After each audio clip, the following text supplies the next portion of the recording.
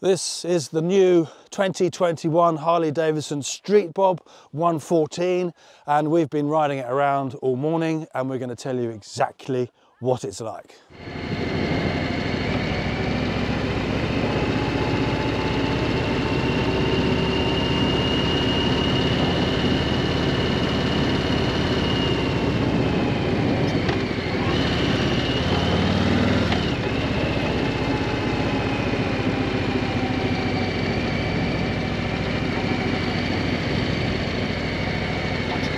Now the Street Bob 114 starts at £13,995 in the UK. That's in this black colour with the orange graphics on it. You've also got three other colours which is white, Baja orange and green and they come in at 14345. Now the difference with the new Street Bob is it has the 114 cubic inch engine whereas the outgoing model had the 107 and you can feel the difference. This is more torquey and it pulls like a freight train, it really does. Uh, but at low RPM, you've got all that grunt and all that torque, which is what Harley Davidsons are all about. And I just love this 114 cubic inch torquey engine. It's phenomenal, it really is. And um, that's the main difference between this and the old bike. And otherwise, the handling's the same. It's very maneuverable, it's very responsive. Um, it's a nice bike to ride. You can carve up the turns if you want to. Um, it's very good in traffic, in and out, and lane filtering and that sort of thing. It's very good.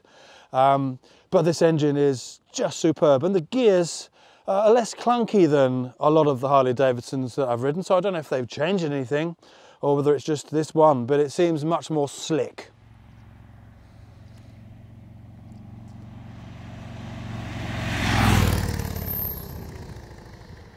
Now the seat height on the Street Bob is 680 millimeters, um, but it's a bit hard to get on with this um, sissy bar on the back, so you have to go through the middle. Um, but I'm six foot two. No, I'm not. I'm six foot one, and this feels absolutely perfect for someone of my height. Um, I wouldn't want to go for forward controls unless you're a little bit taller. Um, and if you are shorter, you'll be absolutely fine on this bike as well. Um, it is kind of geared up. So if you were a bit shorter and you can't reach the bars you could bring them back a bit. If you're a bit taller you could put them forwards a bit. Um, or there's many many other bar options which you can get for the Harley. So pretty much any height you'll be fine now we've been very kindly lent this bike today by Sycamore Harley Davidson in Uppingham in Rutland in the centre of England and they're one of the first dealerships to get one of these lovely bikes. So get down there quick because these are going to sell like hotcakes I can tell you. Um, this one's got the sissy bar uh, which uh, is kind of nice. If you're a passenger on the back it's brilliant. It gives you all that sort of security and safety. You've got to watch not kicking it as you get on and off. Um, other than that it's uh, a nice thing to have if you've got a passenger for sure. Now, the Street Bob 114 weighs 297 kilograms, which is exactly the same as what the 107 weighed. Um, so there's no difference there. And it also has a 13.2 litre fuel tank, which is the same. And the fuel economy of 43 miles per gallon is also same between the two different engines.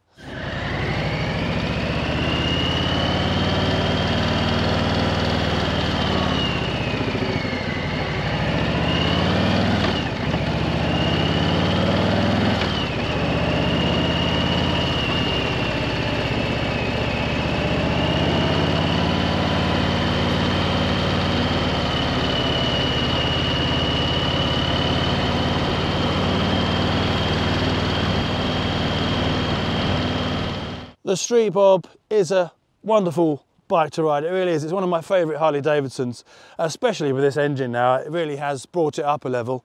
Uh, it's super cool. I mean, it really is the bee's nuts and you do look cool on it. You look at yourself in the reflections of the shops and think, oh, doesn't it look good? Um, it obviously sounds subdued with the standard stock pipes and we'll go into that in a minute. Um, the brakes are not brilliant. Uh, it's a safety feature. You don't want brakes that are too good because it makes you go too fast. Uh, the back brake isn't particularly good. The front brake is better, obviously with the two together. It's perfectly good. But when you look at this bike when you're riding along, the chrome in the wheels there looks fantastic and the shiny bits. Um, it is a cool bike, it really is, and I do love the Street Bob. Now the 114 that's in the Street Bob produces 155 newton meters of torque. That's at 3,250 RPM and it produces 86 horsepower at 5,020 RPM. Now the Street Bob only comes in the 114 engine now. So if you want the 107, you're going to have to go for the Softail standard, which is literally exactly the same bike. Um, the only difference really is obviously the engine and the wrinkle paint finish that they do, the wrinkle black on the bars and around the rest of the bike um, is chrome. So if you prefer a bit more chrome and you want the 107, go for the Softail standard. And if you want that 114, um, you want to pay the bit extra, go for this. Um, now, from my point of view, I want one of these. Um, but I'm going to be doing my A2 license um, in a couple of months, so there'll be lots of uh, videos throughout the process of that. Um, and I think I'm probably going to go with the Softail standard, or if I can find a second-hand Street Bob 107, probably one of those, um, just because it probably wouldn't be as compatible with the A2 license, even though you can get it restricted onto that license.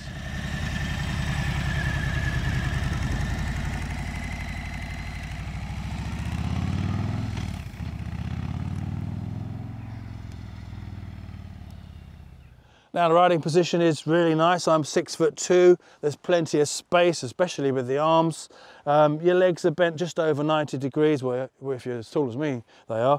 Um, but it looks cooler having your feet in the middle than it does with forward controls. So it's uh, also it's probably better for the handling because you're more in the center of the gravity. So uh, no faults with the riding position. If you're bigger than six foot two, maybe you want the forward controls, um, which you can get as a, an accessory.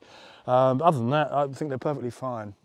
Now, at the moment, there is a slight problem with all the new Harley Davidson models, and that is to do with the European regulations. Um, so, as many cars have had to do for a couple of years now, um, they have to have extra uh, CO2 sensors in the exhaust, um, which obviously makes it sound a little bit quieter stock. And it is a bit of an extra problem towards customizing it at the moment and also they've changed the ECU and they've changed the actual physical cable so um, you can't actually a stage one upgrade the bikes at the moment um, but I'm sure they will be sorting that out soon. Well, I know they will be sorting that out soon. Um, so if you do want one of these and you think, oh, I don't want to get it because I can't stage one it, don't let that put you off because that will be sorted um, in the near future.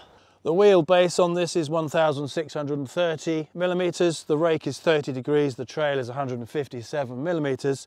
Those dimensions give you phenomenal stability and all the Harleys are like that. But with the narrower front tyre you get on the Street Bob, that gives you uh, perhaps sharper cornering ability. So you really do get the best of both worlds with this motorbike.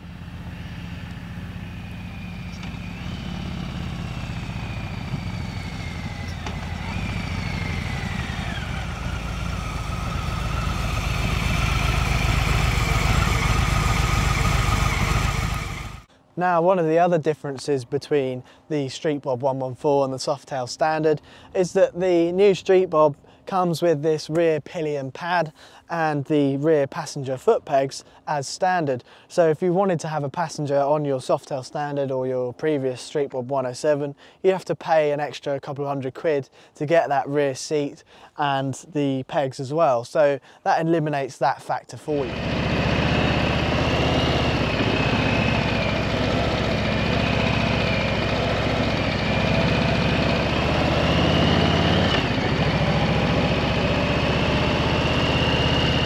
On this you've got adjustable rear suspension, not at the front, um, and the ride is very good. It takes the bumps very well. And by the way, if you're enjoying the video, don't forget to give us a like and a comment. Um, but yeah, this Harley Davidson, doesn't it look cool? I mean, it really is a nice looking bike, I must say. And this little uh, air filter cover comes off. It's just for the um, wet weather. When it's not wet, you should take it off and um, it breathes better. We think the Street Bob 114 um, is just the best value for money you can get out of a Harley Davidson um, in the 114 form factor. It really is really good value for money and it's probably the, in my opinion, the best looking Harley Davidson in the whole range. It looks badass and um, yeah, you can't really go wrong with it. So if you like this bike, um, go and get it. it really is that good. Um, now, if you're wondering what this is like compared to the Softail Standard, we will be doing a separate review of that bike in the very near future. So make sure you subscribe to our channel and don't miss out on our future videos.